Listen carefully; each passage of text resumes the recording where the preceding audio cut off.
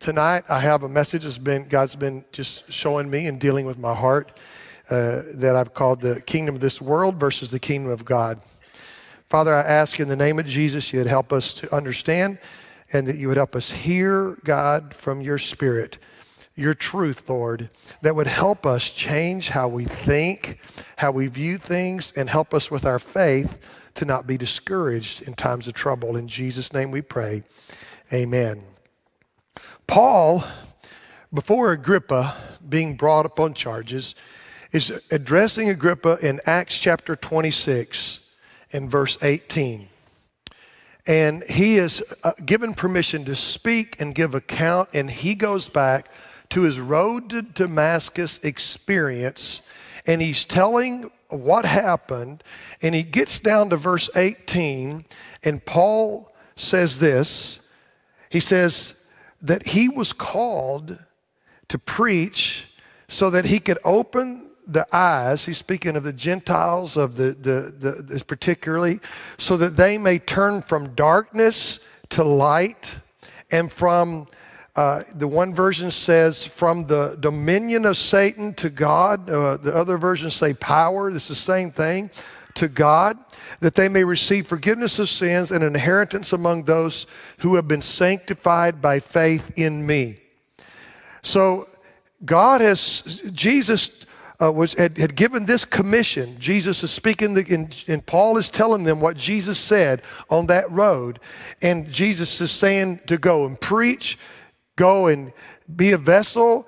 You're going to use him so that he can preach this truth to open their eyes so that they can turn from darkness to light. You see, the kingdom of the world is darkness, the kingdom of God is light. The kingdom of this world is ruled and has dominion with Satan.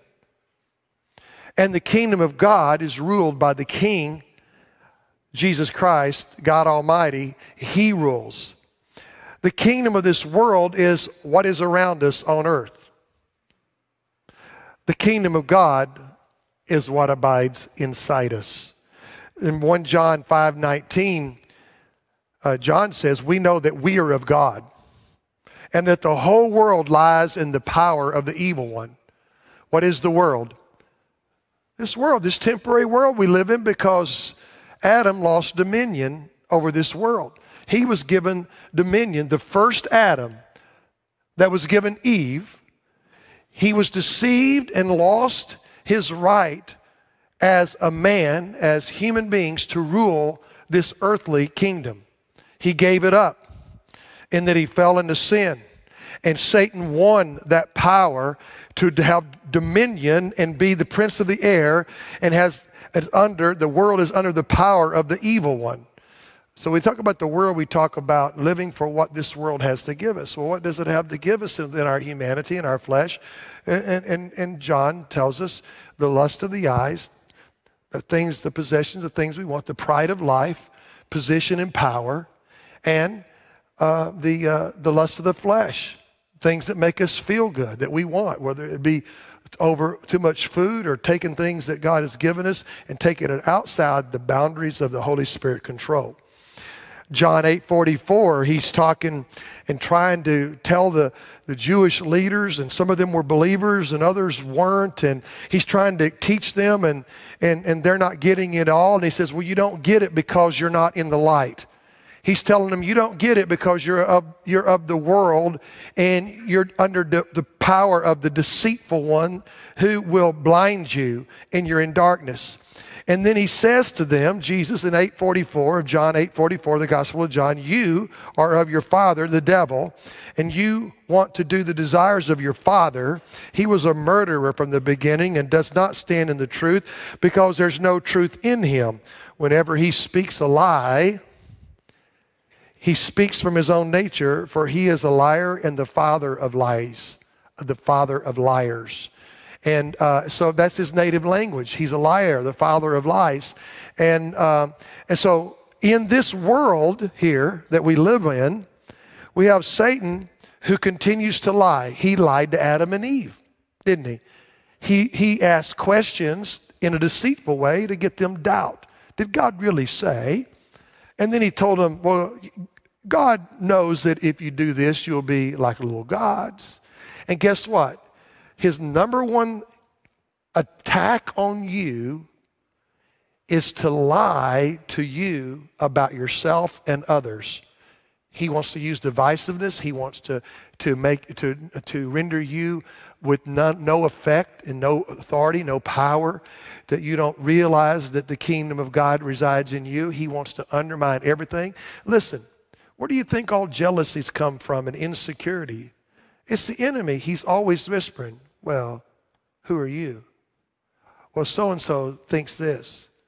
We worry about what each other, we, we worry about what, we, what people think because the enemy wants to make everything about us instead of everything about God. And the way that he attacks all people is lies to them. For instance, the Bible is clear that all good things come from God. God wants to bless us. Just think about it a minute. The first time something bad happens, God doesn't love you. God doesn't care. God isn't real. Where was God? To try to turn people bitter. That's what he does. He lies. So here's what I'm saying this liar is the prince and the power of this world.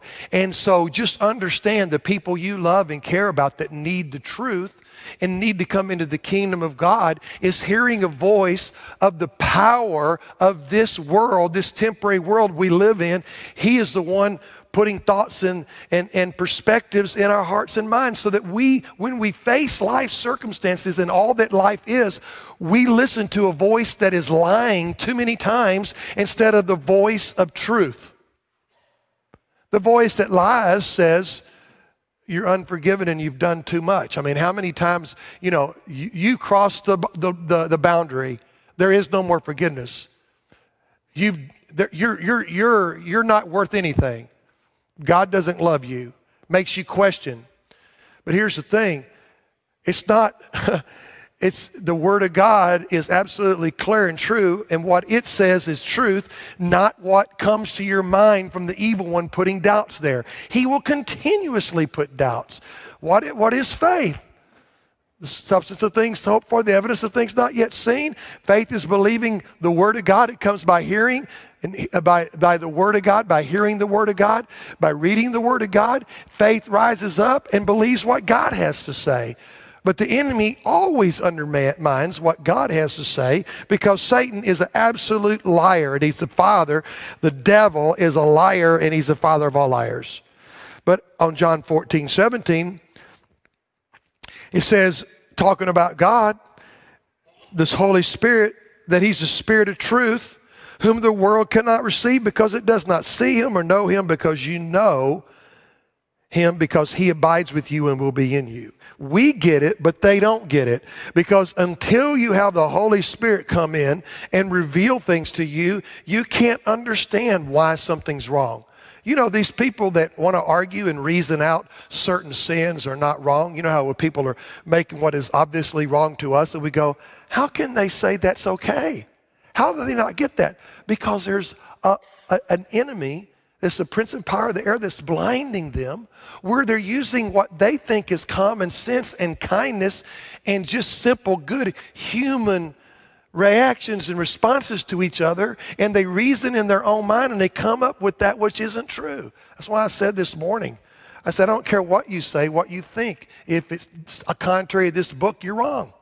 This book is the final authority. So you can say what you want to do and devise, devise your own moral code, but your moral code needs to go with the book. And the Holy Spirit is the one that quickens the word and makes it alive. It's the sword of the Spirit, the word of God. And so but the world can't receive him. Those that are caught in the lust of the flesh, the pride of life, the lust of the eyes, that are of this kingdom of this world, with Satan as their father, they cannot understand until the Holy Spirit changes and enlightens them. That's that convincing or convicting of the Spirit of sin, of righteousness, and that there will be a judgment. John 15, Jesus said, If the world hates you, you know that it hated me before it hated you. If you were of the world, how many of you of the world? I don't think so. If, but if you were of the world, the world would love its own.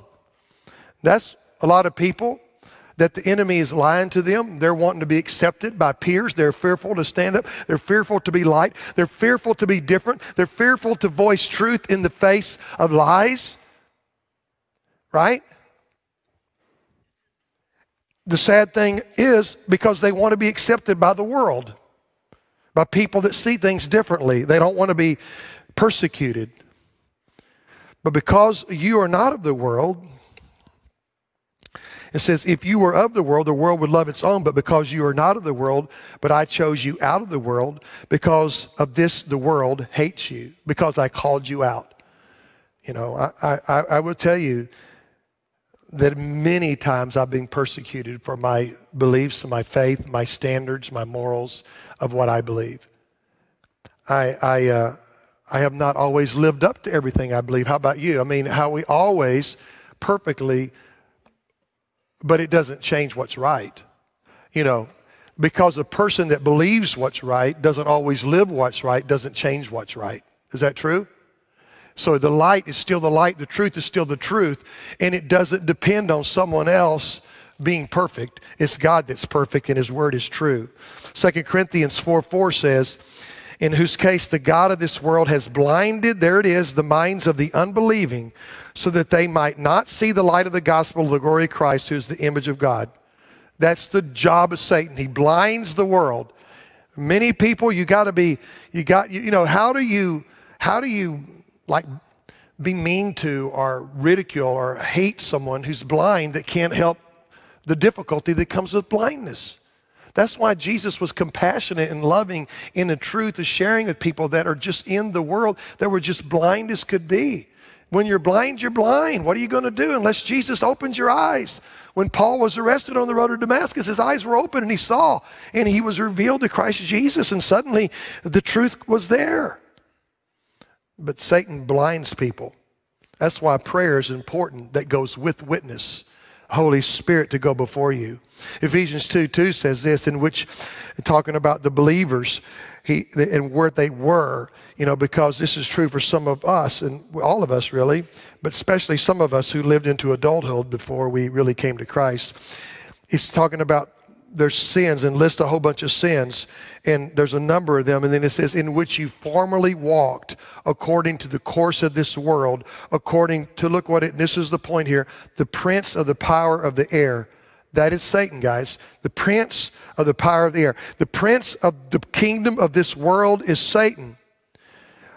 And it says, of the spirit that is now working in the sons of disobedience. You see, there is an evil spirit that works inside sons of disobedience and those that are blind and those that are the kingdom are part of the kingdom of this world.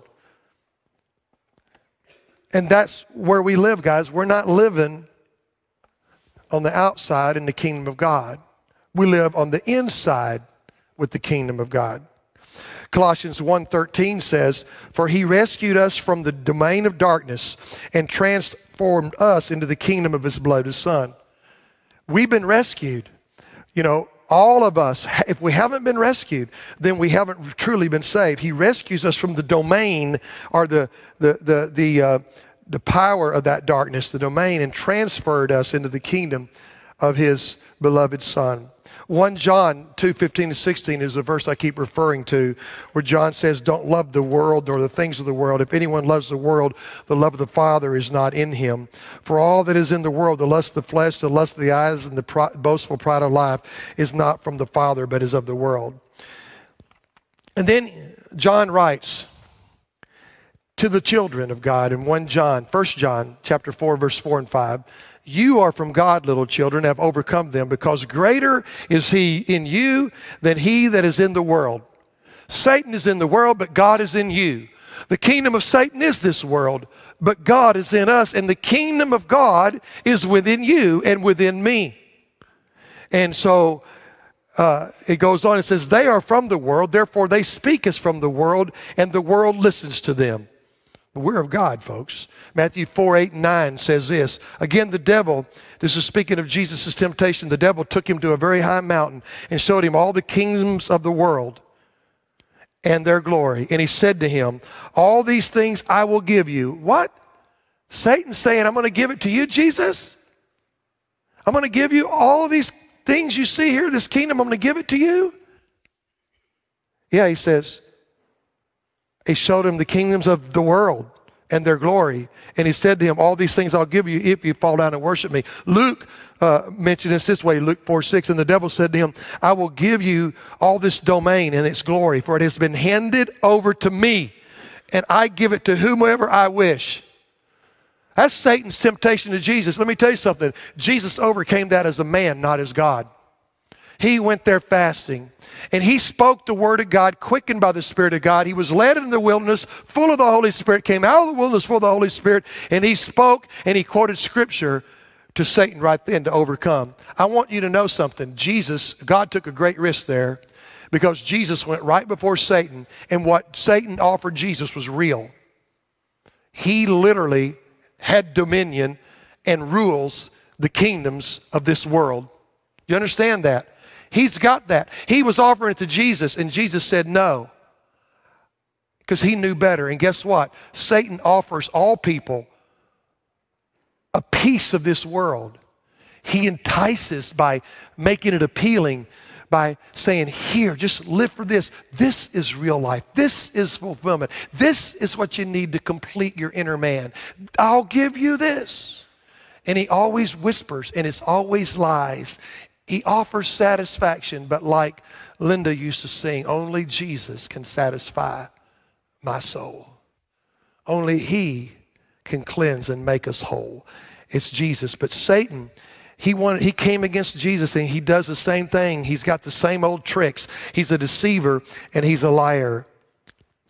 So Jesus overcomes the devil and he's greater. John 12, 31 says, Now judgment is upon this world. Now the ruler of this world will be cast out. The kingdom of God is greater than the kingdom of this world. The ruler will be cast out of this world. That's Satan. And Acts 10 38 says, You know of Jesus of Nazareth, how God anointed him with the Holy Spirit and with power, and how he went about doing good and healing all who were oppressed by the devil, for God was with him.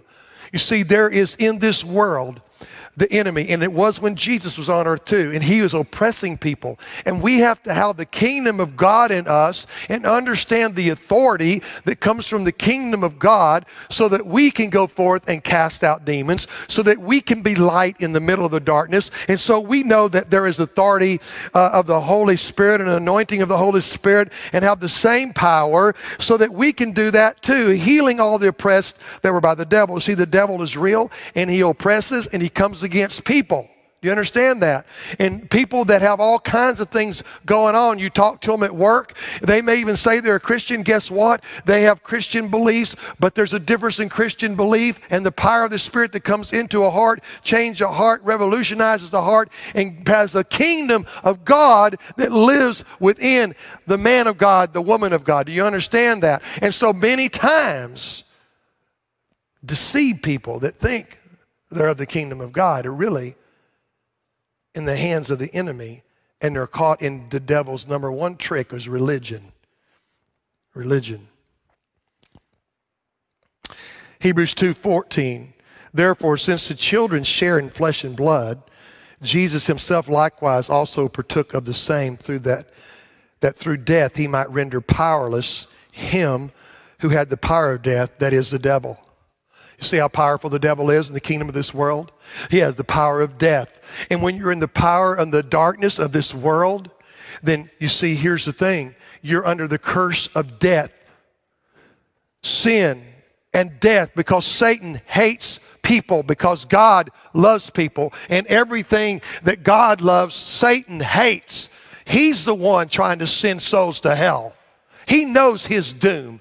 He's deceived. He might have a little bit of a plan. He thinks maybe he can throw a curveball, come back with behind a hundred to nothing, and somehow in the ninth inning, full count, hit something to, to come back. But no way, he's not going to do it. You see, Jesus rendered him powerless and took away the power of death because Jesus is life. See, the Bible says, Jesus says that the thief has come to steal, to kill, and destroy. But Jesus said, I have come that you might have life and have it more abundantly. 1 Corinthians 10 13.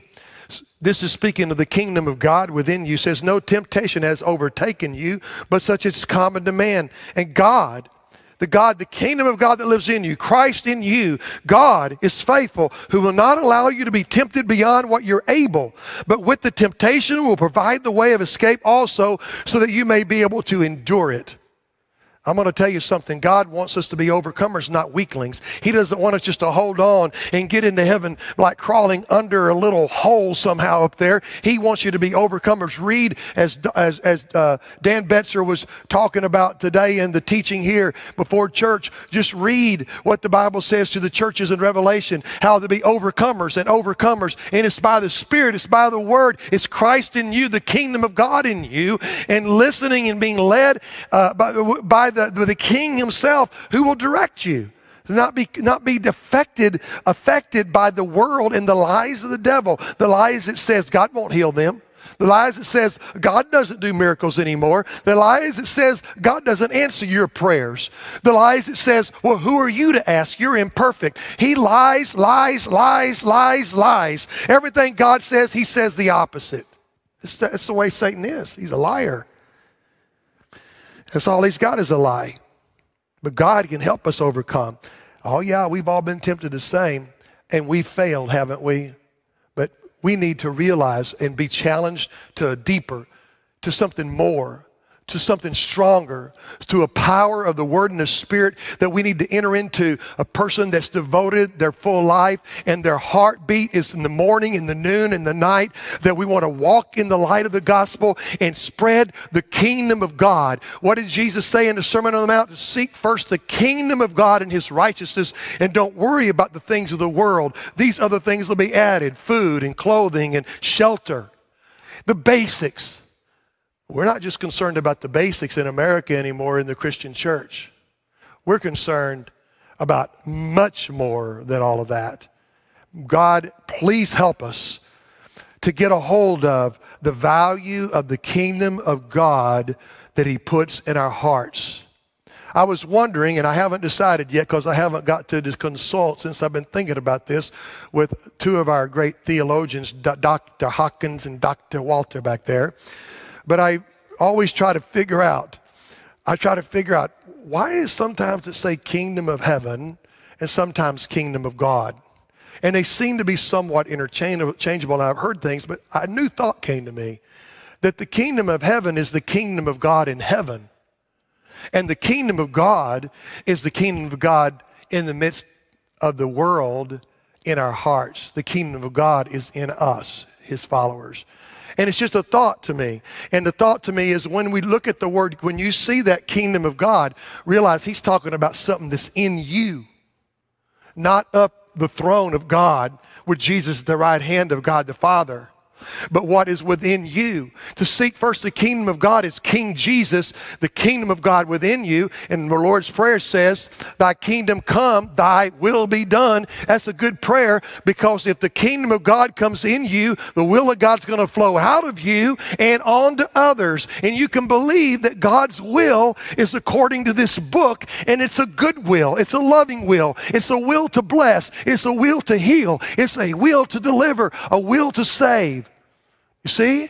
And so uh, if we will pay more attention to the kingdom of God that lives in us and the book of the king, then we're going to believe differently and our perspective about trouble on earth is going to be different.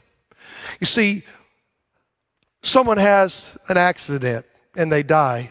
In the kingdom of the world, we're going to listen to the liar and he's going to question everything about God.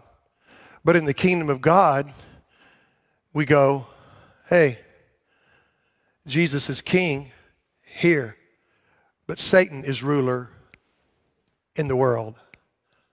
And we're going to be able to easily see that accident or that whatever else happened is a work of Satan and sin, not God. Because we know the king, God himself, desires to bless. And guess what? The king has the right to step in the domain of the enemy and sometimes does and intervenes in the affairs of human beings, but only when we listen and when we call upon him and we believe it, we release the power of God, his angels, his spirit, his kingdom to enter to to uh, uh, uh, intervene or to uh, to interrupt the natural things that would happen and the evil things that would happen. You see, man can't help but do evil things when they're of the world because Satan's their little prince. So we live in a world where there's danger, there's trouble, there's all this stuff going on. But if somehow we can get a hold of the kingdom of God and the truth that Jesus says, then when all this trouble comes, we never go, Why, God? Why'd you do this? We just go, I don't know, I don't understand, but I know God is God. Uh, he's got my back. He's walked beside me. He's gone before me, and He is on the throne. And I'm going to believe the truth, and that is God has not forsaken, and God is not a mean God, and God is not going to smite somebody and, and be awful. God is with us. And I'm telling you, there's something deeper about the kingdom of God within us that we need to grab a hold of. Romans 16 20 says, The God of peace will soon crush Satan under your feet. The grace of our Lord Jesus be with you. When did he, when did he do that? I'm telling you, he's there right now. I mean, I, I, don't love that song, but I remember where he's under my feet. He's under my, well, he's not literally under my feet. He's under your feet because the Christ Jesus Christ has done it because he's in you. He's saved you. He's delivered you from the domain of the ruler of this darkness of Satan and his lies. You're no longer under that authority. You're free. Whom the Son says free shall be free indeed. And the Revelation 20:10 tells of the demise of the enemy. The devil who deceived them was thrown in the lake of fire and brimstone, where the beast and the false prophet are also, and they'll be tormented day and night forever and ever.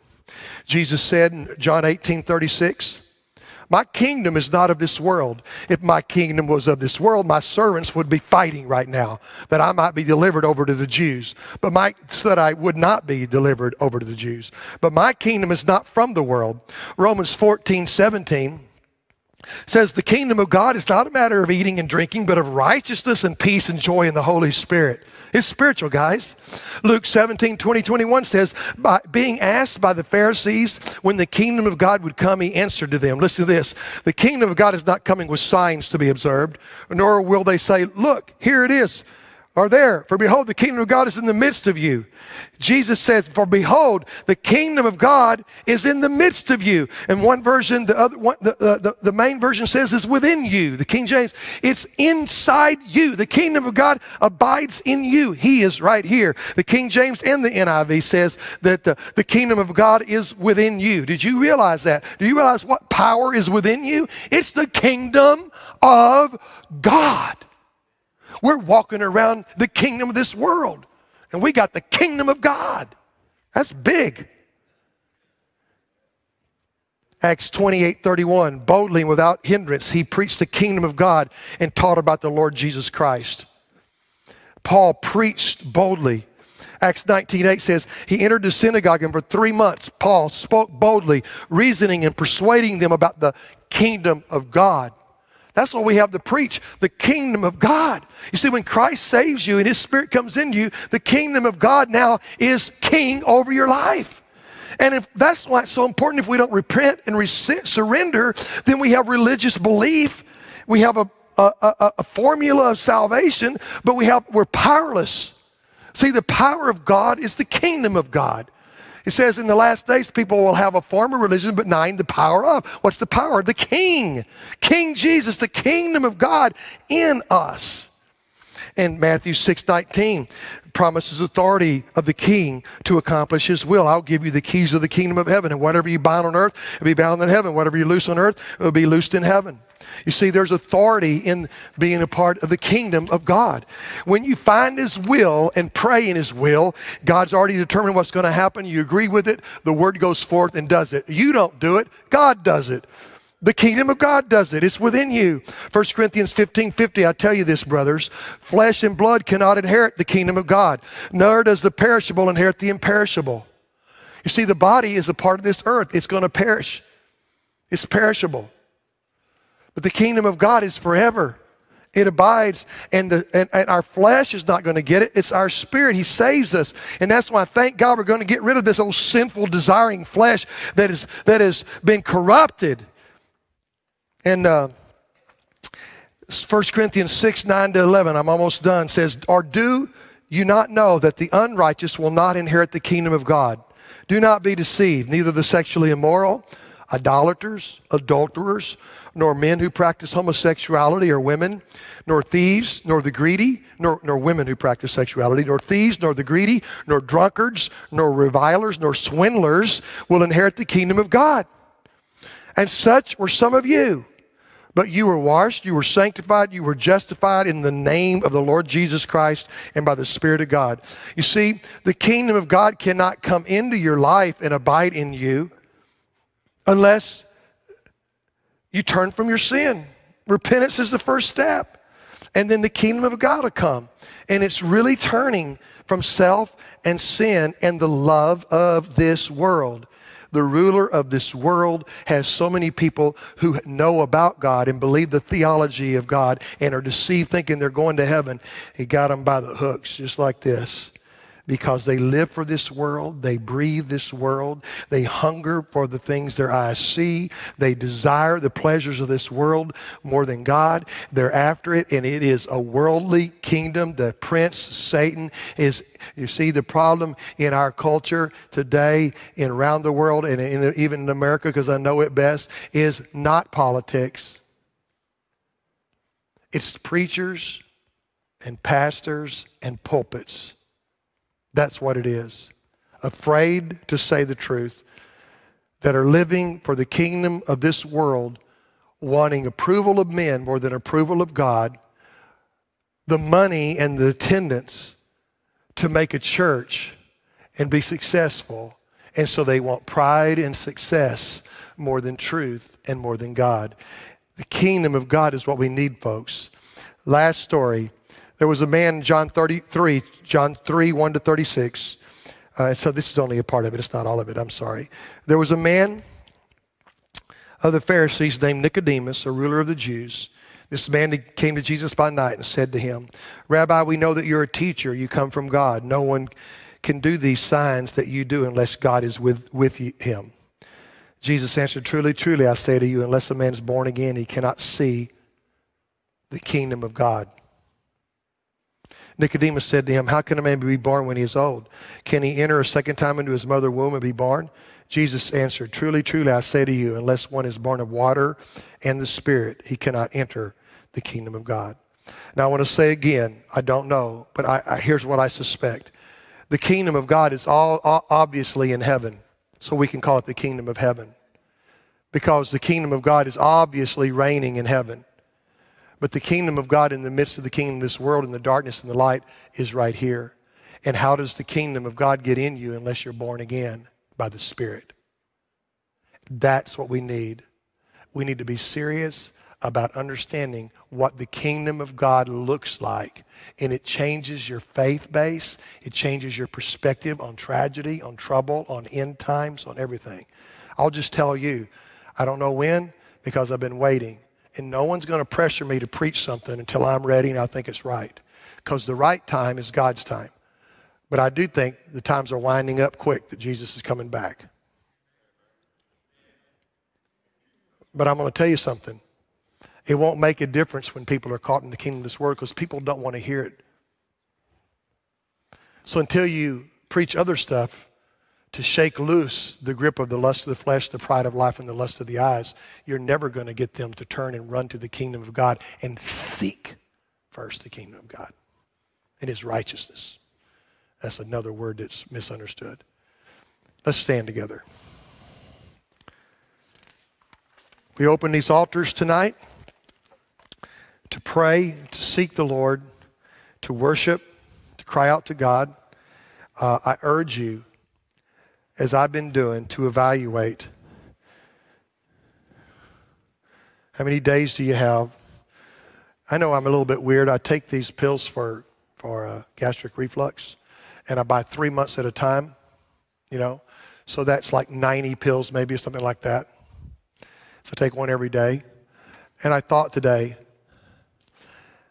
four three month prescriptions a year I'm 63. If I'm 83, I've got 80 bottles to live. 80 gastric reflux bottles if I can live 20 more years. Don't laugh at that. Why was I thinking that? because I only have a, a certain number of hours and days to do something that's everlasting, that lasts forever. And uh, this, this thought came to me just in relationships of friends about the kingdom of God within us. And I've thought it in the past, but I molded it and molded it and molded it. And when I prayed, I molded it and I molded it and I molded it. And here's what I'm afraid of. We're more a part of, in a good way, the kingdom of this world, and less a part of, in a powerful way, the kingdom of God. I need us to rise up and be mighty in spirit, in faith, pulling down strongholds in prayers, seeing God move in miraculous, powerful ways. Amen?